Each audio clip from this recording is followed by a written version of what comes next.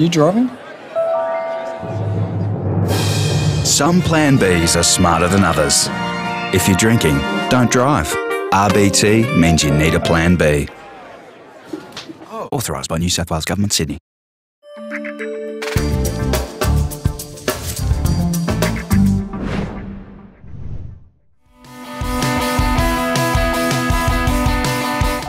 Uh, William Somerville from Sydney University.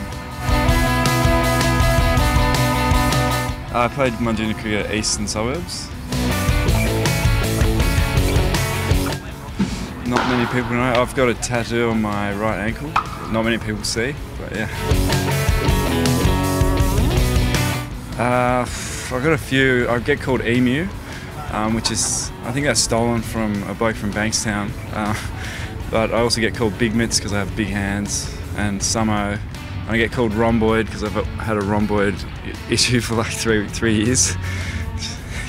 yeah, yeah, there's a few more, but that'll do for now. Favorite musician probably Coldplay. Yeah. I suppose it's been a few. It's been taking me a while to, to get where I am right now, but um, probably just balancing everything in life um, with cricket. And I think at the moment it's kind of at a really, I'm in a good place with it, and everything's going well. So yeah, it's probably one of the biggest things. Yeah. Uh, well, I'm a chartered accountant currently. So that's I've come from. Yeah, I'll be going to work tomorrow, crunching the numbers and stuff. But um, yeah, so that's what I'm doing. Uh, dot your I's and cross your T's. Um, I did go. I do go play cricket for Sydney Uni, so I suppose that's important.